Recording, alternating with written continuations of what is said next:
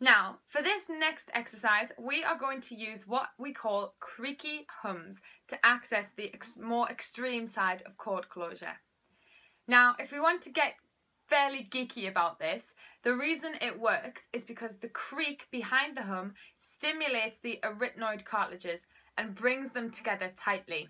However, all you need to know is that this exercise is useful in moderation. If you are the sort of singer that feels they have an uncontrolled amount of breath coming through the voice, someone that sings habitually very breathy without intention, then this will be a great one for you as it will show your cords how it feels to be truly adducted. However, I must stress that if you are someone that tends to creak a lot when you talk anyway, this one might be one for you to avoid as the creak in your talking voice suggests that you probably have too much adduction happening at the cords anyway. It's all about moderation with this one.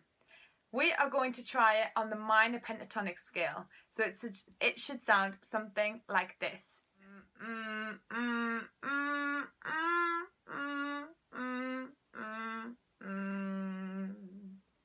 Now it's your turn. Let's give it a go. Make sure you stay nice and gentle with this one.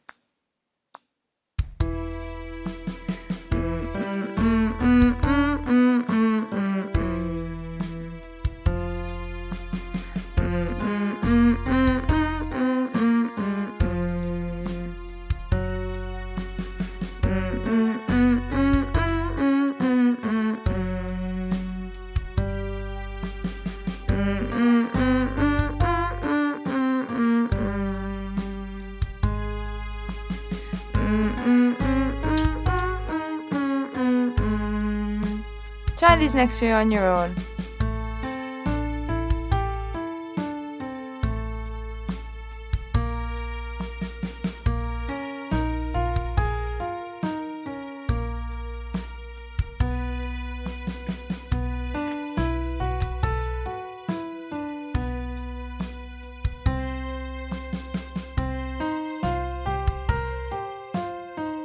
Keep it really gentle.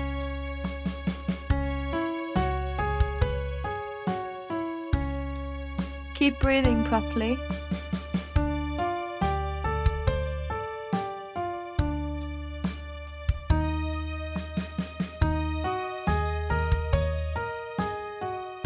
If it starts to feel uncomfortable, you must drop out.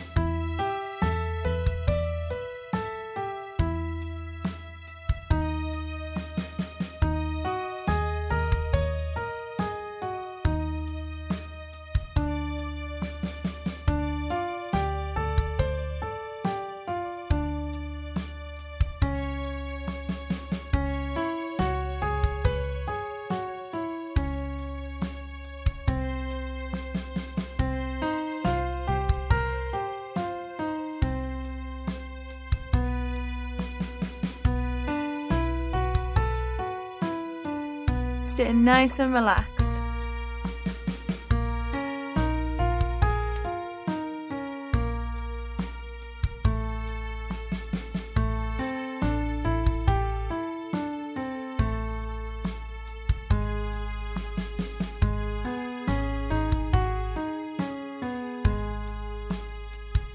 Just to remind you, you need to drop out if it feels uncomfortable at any point.